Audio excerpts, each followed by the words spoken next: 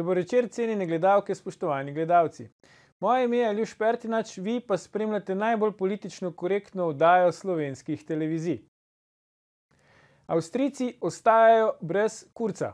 Pred kratkim odstopljen je avstrijski kancler, ki ga čaka sojenje zaradi domnevne korupcije oziroma zlorabe položaja, se po rojstvu sina dokončno poslavlja od politike. Star je 35 let, v politiki je bil 10 let, kar je zgolj dokaz več, da biti vrhunski politik ni mači kašelj in zahteva veliko odrekanja. Za primerjavo, naš premijer je star 63 let, v politiki pa je od leta 1975, torej 11 let več kot je star Kurz.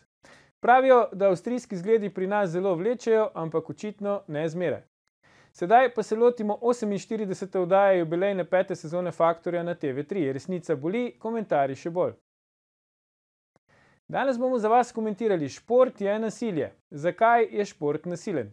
Koliko nasilja je v športu in kako se proti temu boriti, nam bosta povedala naša posebna gosta. Nekdanji rokometni sodnik, rokometni delegat in sekretar na inšpektoratu za šolstvo in šport Darko Repenšek in naš najtrofejnejši rokometni trener Tone Tisl. Toplo pozdravljena. Dober večer. Dober večer. Darko, Tone, mogoče za začetek eno tako izzivalno izhodišče. Dostikrat rečemo, ne, poškodbe so sestavni del športa. Jaz imam sicer že s tem težave, ampak ne bi zdaj o tem, ker ni to danes tema, pa bi zdaj vama dal neki izziv, pa bosta vidva povedala, če je to res ali ne. Tudi nasilje je sestavni del športa, ne. Jaz ne rečem, da je recimo spodbujano ali da je tolerirano, niti da pač se ne sankcionira, ampak če smo iskreni, nasilje je sestavni del športa, da ali ne? Ja, če lahko jaz začnem. Izvoli. Sigurno je nasilje sestavni del športa. Jaz bi to zadevo malo bolj široko na začetku zastavil, pol pa Okej. lahko gremo tudi malo na ožje področje. Šport je pač politika, ne, čeprav nekateri pravijo, da to ni, ampak šport je politika in šport je pač podsistem v družbenem sistemu, kjer se vse, vsa dogajanja družbena tudi lepo vidijo.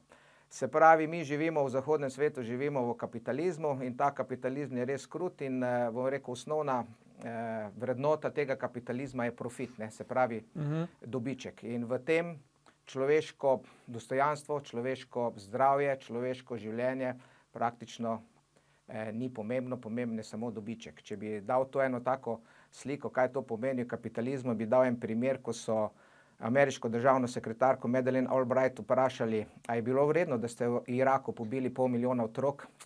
Je rekla: "Bilo je težko, ampak bilo je vredno." Jaz ne vem, zakaj je to bilo vredno, ampak vemo, kaj se je tam dogajalo in zakaj se je dogajalo.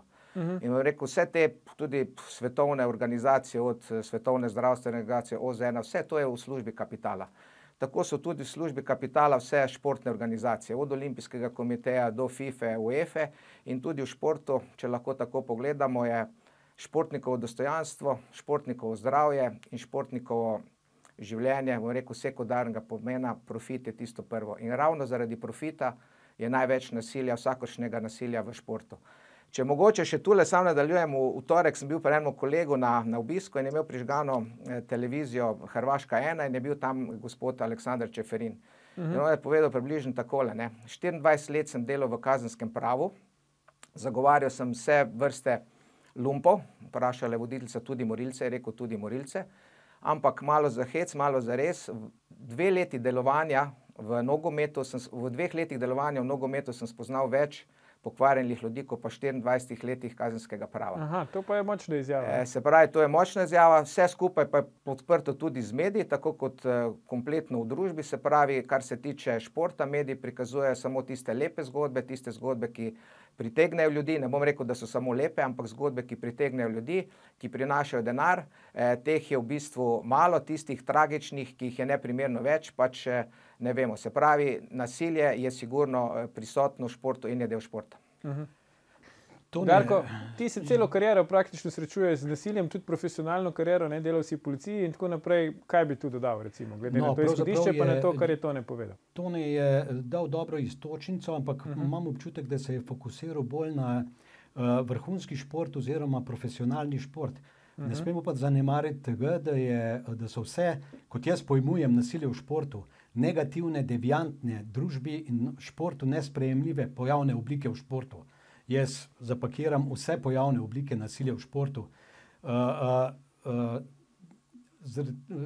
ne govorimo samo o profesionalcih, kot sem rekel, in tem okay. vrhunskem športu, ker je dejansko biznis tisti, ki obvladuje šport, da ne rečem, in profit. Uh -huh. Ampak uh, moramo se zavedati, da je vse to prisotno tudi v uh, nižjih kategorijah tekmovanj, tako na državnem, državnih nivojih in celo na državnih nivojih, na nižjih nivojih tekmovanj, ne samo v elitnem državnem, uh, državnih pre, uh, tekmah, tekmovanjih. Uh -huh. Ne smemo govoriti samo o tekmovanjih, ne smemo govoriti samo o kolektivnih športih, ampak moramo govoriti o športu nasploh. Tudi v individualnem športu je, je, je marsikaj prisotno. Pa ne, je pa dejstvo, da moramo ločiti, kdo so tisti, ki so problem športa in kjer lahko govorimo o nasilju v športu. Okay, Seveda vem. imamo športnike, uh mhm. -huh. imamo trenerje, imamo funkcionarje, imamo pa seveda na drugi strani navijače uh -huh. uh, in uh, ti se največkrat fokusirajo in največkrat se na nje fokusiramo, kot govorimo recimo o nogometu in ja. nasilje na, šport, na nogometnih tekmah. Uh, v celoti je treba to problematiko, ki definitivno je prisotna v športu in jo je treba tako v celoti tudi obravnavati.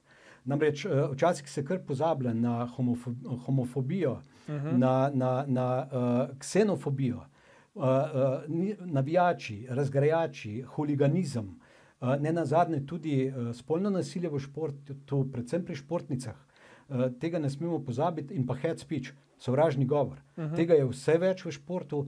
In to so vse pojavne oblike, ki se jih moramo zavedati, ki jih je treba detektirati in proti katerim se moramo družba kot celota, tisti, seveda, ki smo vse dobro misleči, uh, boriti. In uh, govorim od države, kot do uh, društva, kot celice uh, družbenega oziroma športnega delovanja. Uh mhm. -huh. Zavedati se moramo problema, odpirati ga moramo, odkrito se moramo o njem pogovarjati, ga postavljati na pedestal in seveda uh, preprečevati uh, vse pojavne oblike, ki sem jih prej, recimo, da nekaj navedel. Ja. Zdaj, Darko, ti si pred kratkim izdal eno knjigo, ne? Nadzor v športu. Kako bi ti rekel, da smo mi kot družba, vsi, pač, uh, vsi te nadzorni sistemi, mehanizmi, država in tako naprej, športne organizacije, koliko smo mi tukaj usposobljeni na tem področju, glede uh, pač preprečevanja in zaznavanja nasilja v športu, smo dosti senzibilni, nismo, kako nam gre? No, moja knjiga se ne dotika toliko uh, tega nasilja v športu kot takega, zaradi tega, ker je ta priročnik ali knjiga namenjena v enem delu inšpektorjem uh -huh. za mhm. šport, ki delujejo v okviru uh, Inšpektorata Republike Slovenije za šolstvo in šport, na drugi stron, strani pa je ta knjiga namenjena tudi vsem ostalim izvajalcem športa v tej državi, tako tistim, ki so financirani iz javnih sredstev, tudi zasebnemu segmentu, ki izvaja uh mhm. -huh. šport v tej državi. Uh, zaradi tega se ta knjiga nasilja na način, kot ga lahko obravnava policija, uh, ne dotika. Absolutno pa uh, opozarja na te deviantne pojavne oblike uh -huh. uh, in jih tudi uh, jih izpostavi. Uh, na vsak način pa inšpektorat kot tak bolj. Uh, Njegova funkcija in vloga je nadzorna funkcija, ja. je osveščevalska funkcija, je preventivna vloga, nikakor ne samo kaznovalna. Inšpektori niso policaji, uh -huh. uh, v prispodobi rečeno. Uh, absolutno se morajo uh, svojem del, pri svojem delu uh, osredotočati na to, da pripeljajo nadzorovance, kot jih imenujemo, do tega, da upoštuje, spoštujejo zakon, zakonita ravnanja v športu, ker mhm. ne samo zakon o športu, ampak številni drugi zakoni tudi dajo pristojnosti inšpektorjem za šport za svoje ukrepanje, za ravnanja in seveda, da, eh, da, da eh, poskušamo zagotoviti v tej družbi zakonitost tudi v športu. Ja, zdaj, se, zato me pa zanima vaš osebni občutek. No, kako mi kot družba, recimo, vidva sta pač dolgoletno, praktično celo življenje delujete v športu in takih drugačnih vlogah, kako vidva vidite to? Smo mi kot družba, slovenska družba, smo dosti senzibilni glede pač, eh, nasilja v športu, imamo ničelno toleranco, toleranco do tega, mogoče kakšne pojavne oblike bolj uh, smo bolj dozetni, smo manj dozetni. Kako vi to vidite? Ja, jaz mislim, da smo mi del tega velikega sistema in uh, mhm. družbeni sistem, ki zdaj pri nas je tisti, ki sem ga prej omenil. Ne, in uh, ta se pokaže na vseh nivojih. Zdaj, če govorimo nekje v nasilju, če malo razdelimo, eno je duševno, eno je telesno. Tisto za mene, kar je najbolj grozno, je pač to telesno, ko si ga, Darko, ti prej omenil, se pravi spolno nasilje in pa pedofilija. Uh mhm. -huh. Tega je v športu ogromno. Uh, In eh, če ga je nekje na svetovnem nivoju, verjamem, da se najde tudi pri nas, vendar zadeva je preprosta. eh, trener ali funkcionar, eh, ki izkorišča mlado dekle in te zadeve, je pač v veliki premoči, nasprotni, nasprotni spol je, je prestrašen, noben mu ne verjame. In tudi, če se slučajno te zadeve dokažejo, ampak če ta funkcionar ali pa trener nosi rezultate, se ponavadi te zadeve prikrijejo in uh, te zadeve se polne sankcionirajo. Ne? Mislim, da je mhm. sistem tisti, ki ščiti te, ki nosijo rezultat, ki prinašajo denar. Mislim, da to velja tudi, eh, spomnimo se, kak je v cerkvi. Ne? Tudi cerkva je svoje ščitla, svoje pedofile mm. in tiste, ki so spolno zlorabljeni. Ampak ta spolna zloraba je tako v športu kot v.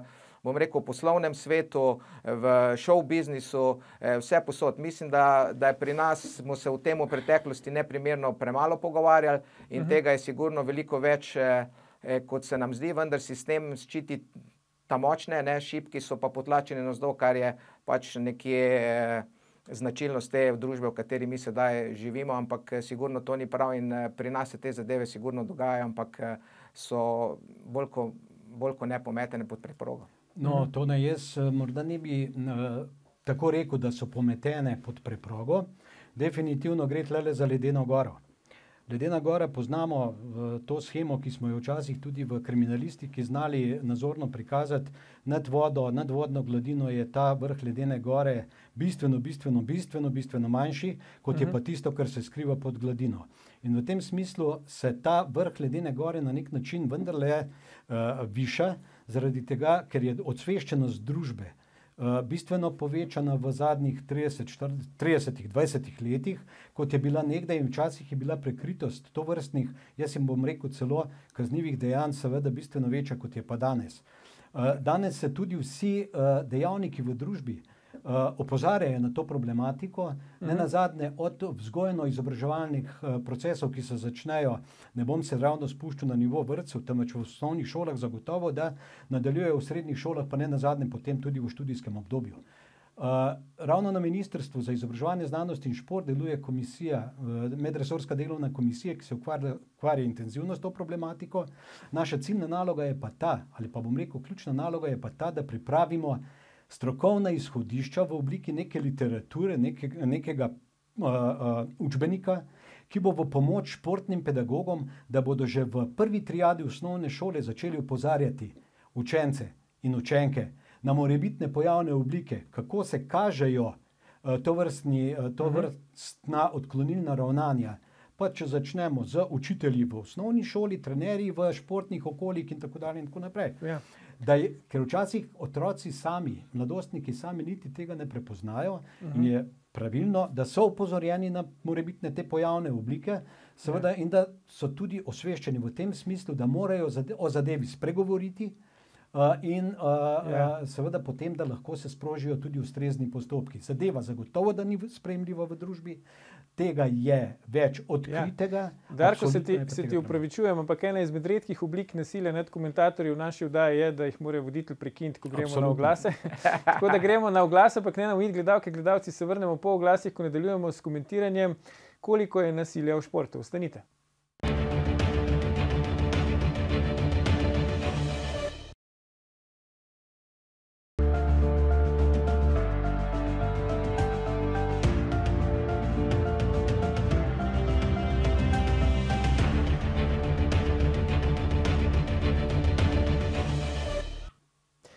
Ponovno pozdravljeni. Z nami sta še vedno Darko Repenšek in Tone Tisel, pogovarjamo pa se o tem, koliko je nasilja v športu. To na zdaj v prvem delu smo govorili v glavnem o oblikah nasilja, ki so pač, eh, eh, bi rekel, prepovedane in sankcionirane na vseh segmentih družbenega življenja. Zdaj me pa zanima tvoje stališče o tem, koliko je pa recimo eh, zdravje športnikov in nasilje nad zdravjem športnikov pereč problem eh, zdaj eh, aktualnega športa, tako profesionalnega, pa če hočeš tudi eh, rekreativnega. Je šport je v osnovi nasilje, se pravi, če, če sploh, bomo rekel, vrhunski šport, sploh, ne, se pravi, vsak športnik je vrhunski športnik, izvaja nasilje nad svojim telesom. Uh mhm. -huh. E, se pravi, on svoje telo, če hoče biti konkurenčen, mora iti do zgornjih meja. Ne. Včasih pa, e, če zadeneš to mejo, lahko zmagaš, si uspešen, če ne zadeneš, je pa lahko to tvoj pogreb in e, počutiš posledice med samo kariero ali pa po karieri. Ne. Eh, tako da v tem pogledu eh, lahko vidimo vsakodnevno v vseh športih, ne, da ogromno športnikov gre prek praga bolečine. Nekateri grejo sami, nekaterim dovolijo to zdravstvene zdravstvene službe, nekateri mm -hmm. vozijo poškodovani, eh, nekateri, nismo se tega dotaknili, pa to silijo. Eh, nekatere pa to silijo. Ne. Eh, se pravi, v tem, vsem tem vrhunskem športu je šlo to vse predaleč, ampak v teh zgodbah, tako kot sem rekel, se ne govori veliko. Ne. Nad, nad športnike ne izvajajo pritisk, športniki sami je pa še ena ena skupina ljudi, ki jih nismo imeli, ne, to so pa starši. Ne. Starši so v tem trenutku uh mhm. -huh. eh, tudi eni, ki izvajo veliko nasilje nad eh, športnikom. Ne. Se pravi, nasilje v športu, ne, nekateri definirajo nasilje že to, že težek trening, težke oblike treninga je, ka, je lahko nasilje. Ne. Če ti športniku prepoveš, eh, mi smo to imeli, ne, hora legalis, ne se pravi, da so imeli uro ob 11. spanje, tudi to je ena oblika nasilja. Mi smo jim naredili jedilnike, ne, tudi to je ena oblika nasilja. Se pravi, eh, vse je to, vse je to nekako nasilje nad športnikom in športnik nima neke pravice ali pa verjame tismu, ki ga vodi, eh, da je to edino, kar prinese, prinese, prinese uspeh. Ne. Darko, si hotel nekaj? To ne omenijo si starše. -hmm. Še kako pomemben dejavnik dejansko so pri vzgoju igralcev, svojih otrok, igralcev, seveda, ki so vključeni v nek trenažni proces, uh, starši. Ampak ravno ti starši izvajajo pa še kako velik, uh, veli, ve, veliko nasilje nad svojimi lastnimi otroci. Pa bom izhajal iz primera. Prijateljska tekma uh, deklic, ko pridejo na to prijateljsko tekmo starši. Yeah. Ja. Koliko tekem sem sodel takšnih? Pripravljalnih oziroma prijateljskih tekem. In celo dogodilo se je, da sem moral zaradi svojega verbalnega izpadanja enega od očetov od deklic uh, zahtevati, da so ga odstranili iz dvorane, oziroma uh, bilo je že skoraj na tem, da ga odstranim sam. Prijateljska tekma, ko se je zdiral tako nad uh, svojega lastnega otroka uh mhm. -huh. in točno sem zaznal njegovo nelagodje, te deklice, njeno nelagodje in kako je bila ožigosena pred vsemi ostalimi igravkami, potem bi se še pa na tribuni stepil zaradi tega, ker je moral, oziroma ker smo zahtevali, da je dejansko zapustil uh, prizorišče. Starši in trenerji na drugi strani. Poglejmo si trenerje, kaj vse počnejo tudi v uh mhm. kategorijah najmlajših uh, tekmovalk in tekmovalcev na, na, na, na, na uh, klopi za rezervne igralce. Če govorimo spet o kolektivnih športih. Yeah. Ja. Uh, kakšno je njihovo izrazoslovje? In sedaj, ko sem kot, kot, ko sem kot sodnik včasih celo dal timeout, šel k trenerju, ga na glas, da so slišali vsi, tako igralke kot uh, gledalke in gledalci na tribunah, da sem ga upozoril naj preneha z svojim primitivnim nastopanjem. Tudi takrat je včasih prihajalo do konfliktov. In sedaj smo spet pri starših, nekateri so me obsojali mhm. zaradi tega, ker sem posredoval, nekateri seveda so pa hvala Bogu, večina je vendarle tudi takšnih, ki so pa to podpirali. Skratka, uh, vsi dejavniki v športu morajo pripomoči k temu, da se to vrstne uh, dejantne pojavne oblike res minimalizirajo, oziroma da ne prihaja do to vrstnih ekscesov. No, vse to, ko si zdaj dejal, prej smo govorili, da je profit tisti, ki je tisti, ki usmerja nasilje, pa zaradi tega nasilja, eno je pa tudi uveljavljanje osebne ambicije preko športnika oziroma otroka. To je pa ta del, ki si ga zdaj ti povedal. In, eh, pač, mogoče za frustrirani šta, starši, ki niso uspeli v športu tako in drugače, silijo svojega otroka v nadnaravne, mislim, ne mogoče napore od njega zahtevajo, da naredi nekaj, kar enostavno ne more. In eh, mislim, da je to. Eh, eh Zelo nevarno. Ne? Dejstvo je pa v Sloveniji pa še, še en problem. Ne? V naših časih se je v bistvu selekcioniralo nekje pri 12 letih. Ne? Uh mhm. -huh. ker je slovenska populacija zelo majhna, šipka. Športov je pa ogromno, vsi športi so kvalitetni, ne, se zdaj selekcionira, že praktično se gre že v vrtce. Ne. In ja. se pravi, se otroke usmerja v šport in se vrši neka prisila eh, že, že zelo zgodaj. To za razliko od eh, držav, naprimer, ko sem bil v Skandinaviji, na Danskem, tam se res do enega 16. leta enostavno igrajo. Tam ni tega tekmovanja, tam ni teh pritiskov. Mhm. -huh. Pri nas pa že zelo, zelo zgodaj eh, mlade usmerjamo, jih specializiramo, zraven še pritiskajo eh, starši, starši pritiskajo tudi na, eh, na trenerje. In treba se tu spet zavedati, pa smo spet eh, pri denarju. Ne tisti, ki ima denar, od tistega otrok tudi igra. E, moramo vedeti, da so te zadeve tudi v našem športu že, že e, zelo, zelo zgodaj se začnejo. Ne, ha, ta sponzorira, le, zato pa ceni igra en, ki je mogoče boljši, pa ne. To otroci vse čutijo in to je neka čustvena, e, to je, bom rekel, pa neko čustveno nasilje, ki lahko močno vpliva e, kasneje pri teh otrocih. E, to se dogaja vse posod po svetu, ampak pri nas je izrazito, ker zahtevamo že zelo zgodaj, e, zelo zgodaj rezultat in zelo zgodaj specializiramo. Ja. No, jaz bi se tle še morda dotaknil pa vodi, vodstvu klubov, predvsem uh mhm. -huh. predsednikov in pa uh, ožjega vodstva kluba. Ne. En vidik je točno ta, ki si ga to ne omenjal. Uh, kljub se pač bori za denar, uh, sponzorje pridobiva na tak ali drugačen način. Največkrat ali veliko krat so uh, i, starši otrok, ki v klubih so, lahko tudi petičnejši, bomo petičnejši, bomo ja. uporabili ta izraz in si jemljajo na nek pre, uh, način potem tudi pravico, da bodo kreirali politiko kluba. Spet lahko izhajam iz svojega lastnega uh, okolja, pa izkušnje.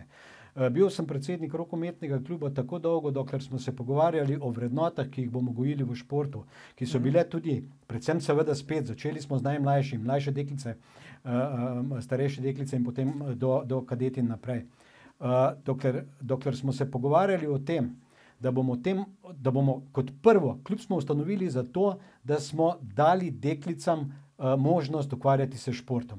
Uh mhm. -huh. z, svojimi, z vsemi njegovimi pozitivnimi lastnostmi, da smo jih odpeljali z ceste, da so si pridobivali skozi šport delovne navade, da so se socializirale in da so seveda izgubljale tiste predsotke, ki jih lahko tisti, ki v športu niso, predvsem v kolektivnih uh, da so jih lahko izgubljale.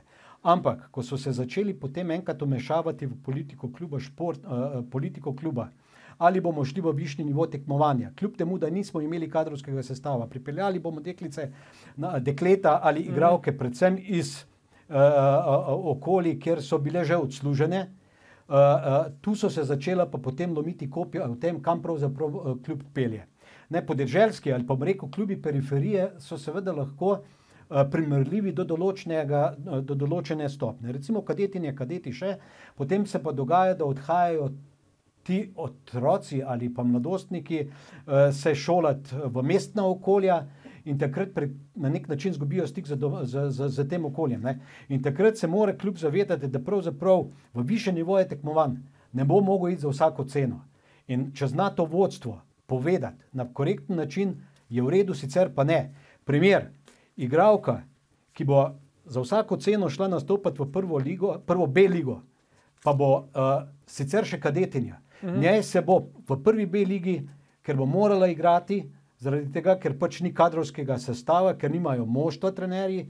Uh, bo dost, vel, vel, kar nekaterim se je po domače rečeno šport zagrožal, zaradi yeah. Ja. tega, ker v prvi B ligi nastopajo največkrat že starejše igralke, uh, po, ki igrajo po, sice, po sistemu, srce hoče, telo pa ne da, uh mhm. -huh. in potem prihaja do tistih prijemov, uh, ki so za, bom ja. kot sodnik rekel, za direktne diskvalifikacije.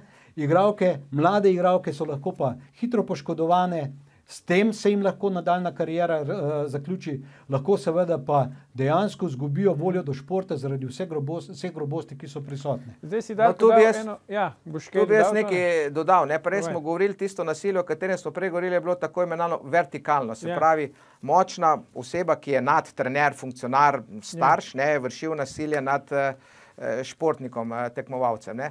To, kar je pa zdaj Darko menil, ampak je tudi nasilje, je pa horizontalno. Se pravi, gre pa za nasilje znotraj ekipe, pa znotraj, znotraj tekmovalcev. E, to zna biti tudi zelo hudo, zelo nevarno, tako je Darko rekel, nekatere so želele prenehati. To je pa ponavadi, ponavadi je bilo tako, verjetno je še zdaj, starejši so ponavadi zmeraj.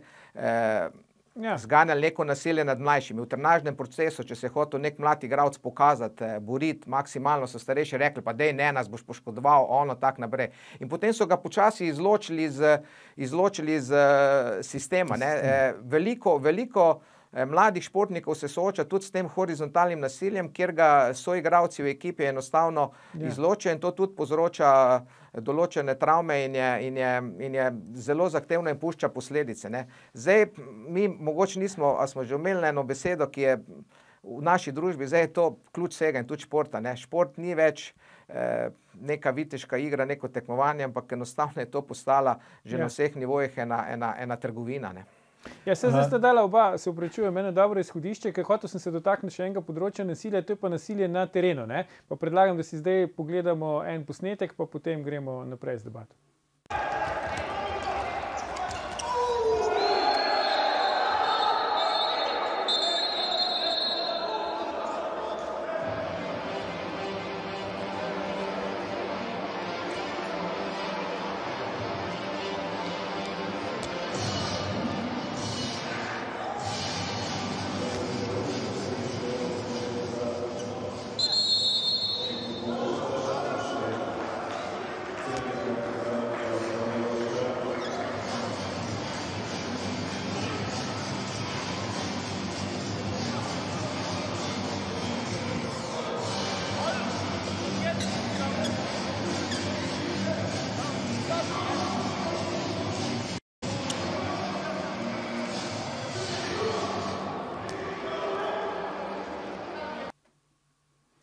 Zdaj to ne darko za nerokometno publiko, ne? pa mi imamo tudi prednost počasnega posnetka, ki ga akteri na igrišču nimajo. Ne?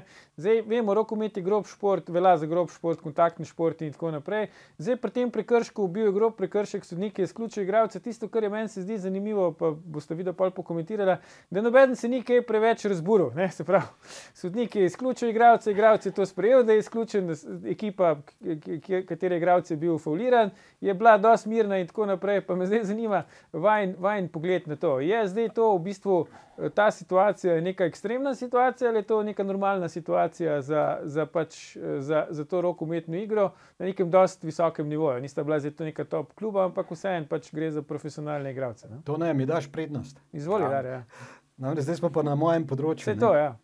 Uh, najprej bi se odzval na besedo, ki si rekel, rokomet je grob, ali už ki si rekel, da je da velja, ja. grob šport. Da velja, ja. Uh, velja, ja, morda. Uh, tudi sam sem večkrat to slišal, ampak sem se kar kategorično odzval. Veste?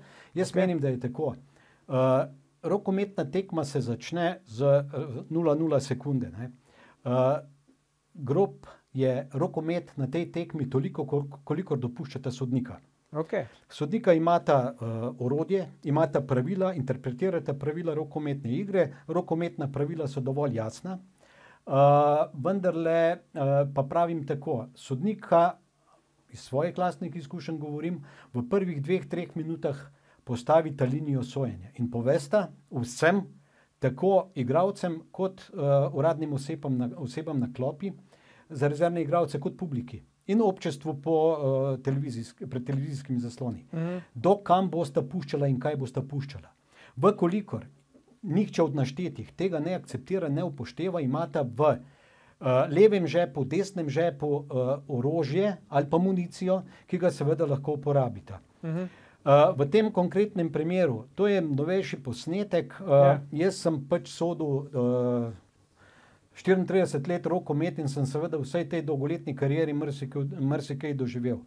Uh, tudi sodel sem Jugoslovansko ligo 8 let, uh, In seveda uh, bi si ja. v tistem času skoraj ne predstavljal, da bi, bil mir, da bi bila tako mirna reakcija tako igralca kot klopi ali trenerja klopi uh, na uh, neposredno diskvalifikacijo oziroma rdeč karton. Uh -huh. uh, jaz mislim, da v zadnjem obdobju so uh, dojeli vsi, ki so na igrišču, da seveda se grobost ti ne piše dobro in vkolikor seveda igralec gre preko svoje mere uh, ali meje, uh, kaj ga čaka. Uh, je pa še nekaj zanimivo. Ne? Bom to zdaj rekel, ko sem pri besedi. Namreč reakcije trenerjev so bile meni vedno zanimive, ne ja. vseh. Govorim samo o tistih ekstremnih primerih.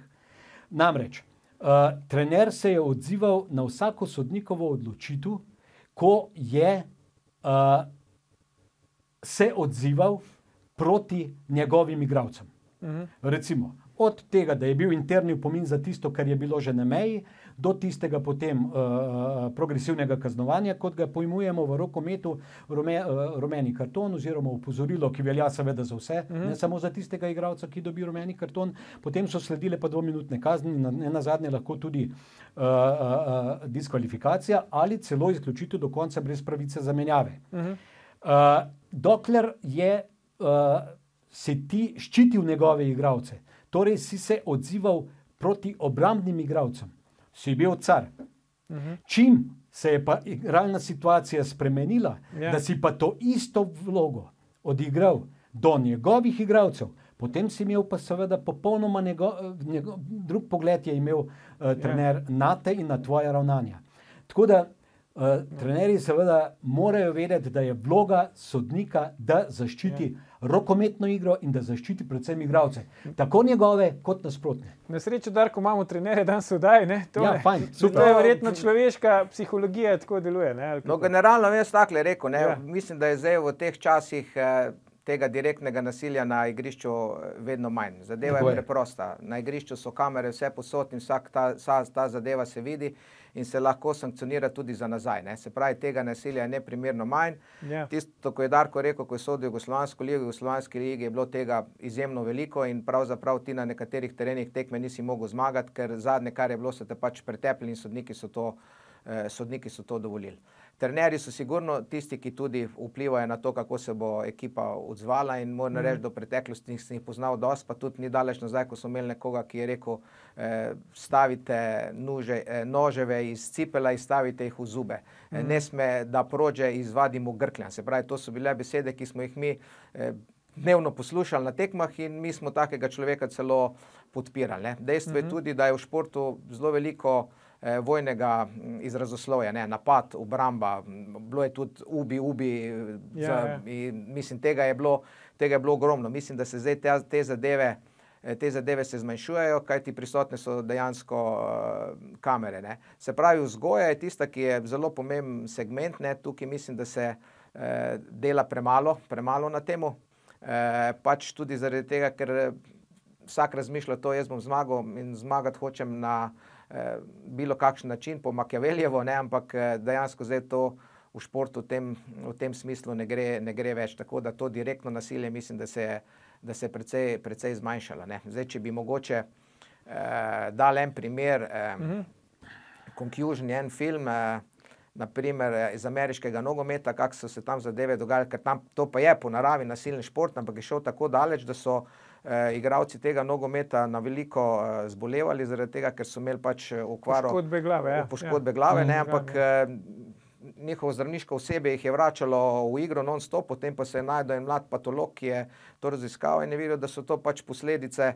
Posledice te grobe, grobe igre, ne. dolgo se je boril proti mlinom na vetru, ker pač oni to industrijo niso hoteli za, zaustaviti, ker je prinašalo mm. take dobičke. No, sedaj pa je tudi v ameriškem nogometu tako, da ko je kakšen trg, ko je pretres možganov, ta igralec ne sme več eh, nastopiti. Za razliko od kolesarstva, kjer se vidi, da je kolesar doživel pretres možganov, ga še dajo zmeraj na kolo odvozi etapo do konca, potem ga grejo slikati in mm -hmm. govorijo, da je pretres možgana. Se pravi, teh, teh zadev je v vrhunskem športu, tako kot sem prej rekel, eh, tudi življenje ne, ne, pomeni, ne pomeni praktično ničesar in eh, vse zadeve se pelejo v to, da je vse na robu in dokler ni smrti, je vse ok.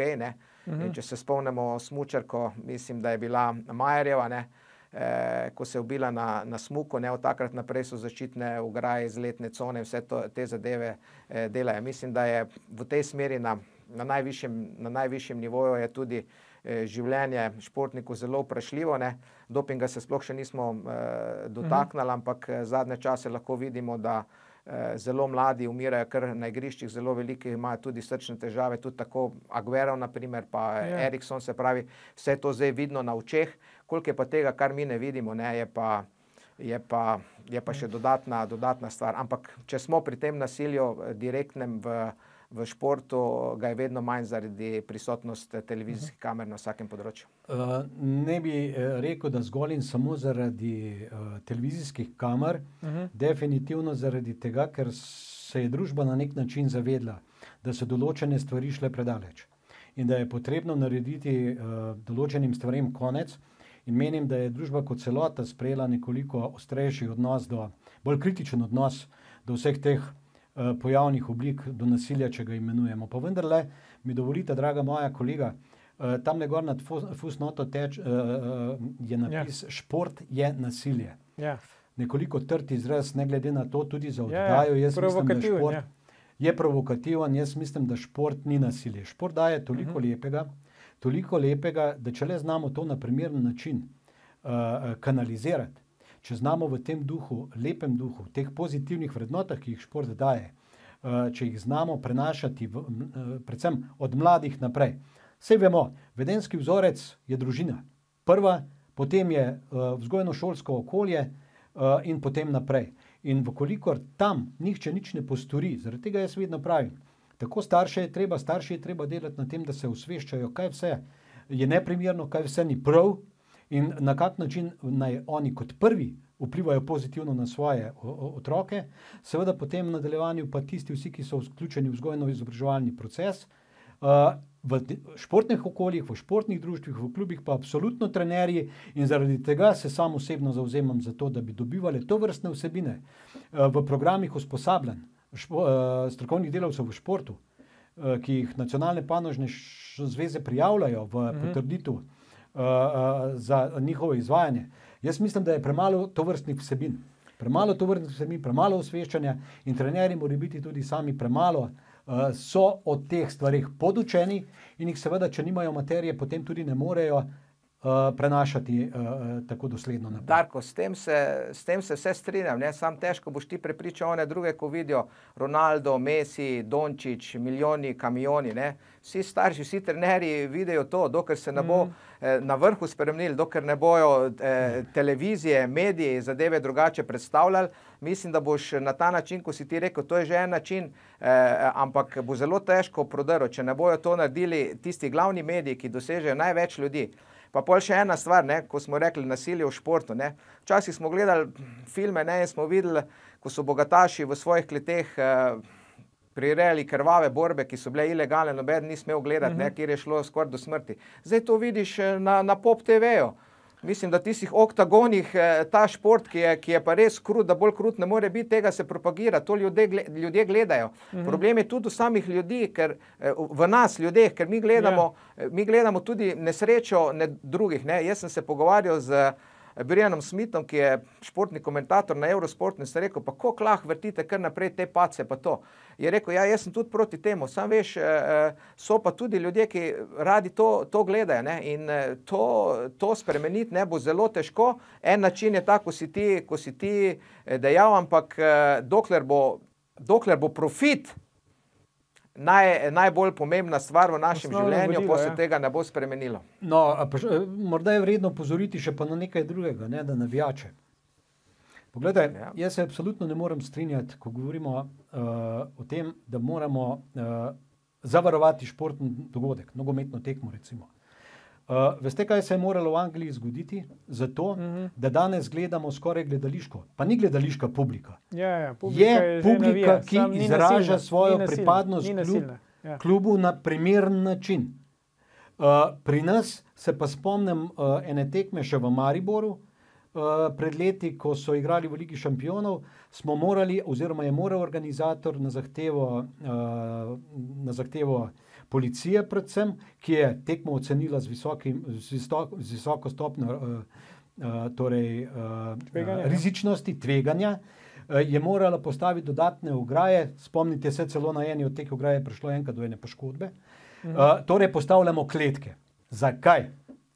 Spet se vračam na uh, osveščanje, na preventivno delovanje, kakorkoli že. Jaz pravim, če ne bomo nič postorili, potem se to nikjer ne bo poznalo. Če bomo pa vsaj poskušali vsi, ki delujemo v športu in širše, celotna družba, opozarjati na vse to, pa če zmanjšamo to vrstne pojavne oblike, negativne, uh, vsaj za nekaj procentov smo nekaj postorili.